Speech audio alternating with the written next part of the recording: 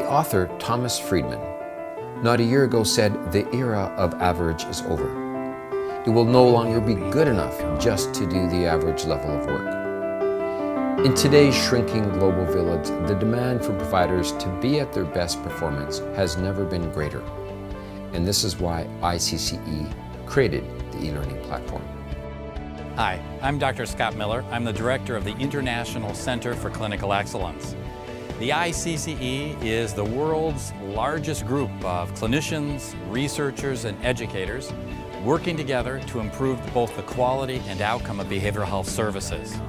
I'm privileged to work with a international group of advisors and thought leaders in the creation of this e-learning program. The team has worked very hard to translate these six feedback-informed treatment manuals into clinical skills that will help you better engage your clients and achieve better outcomes. On the 12 lessons, you're going to be exposed to clips of best practices.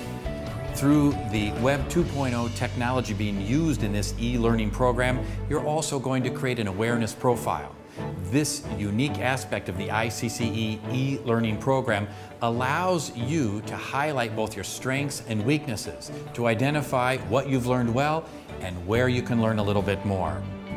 Not only will you be reading material, being exposed to a bit of lecture, you're also going to collaborate with other therapists from around the world while you work through these 12 lessons. It's an interactive experience. We haven't simply translated the textbooks into text on your computer screen. It's not a traditional teacher-student relationship.